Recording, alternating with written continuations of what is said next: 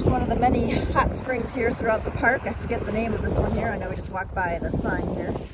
It's a big, a big, big pond almost. And there's a couple, other than this one area here where it's bubbling up, there's a couple other areas over there as well that's bubbling up. Obviously you can see the steam rising.